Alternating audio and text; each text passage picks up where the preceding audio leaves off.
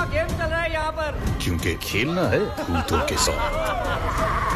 D D return 24 दिसंबर रात आठ बजे।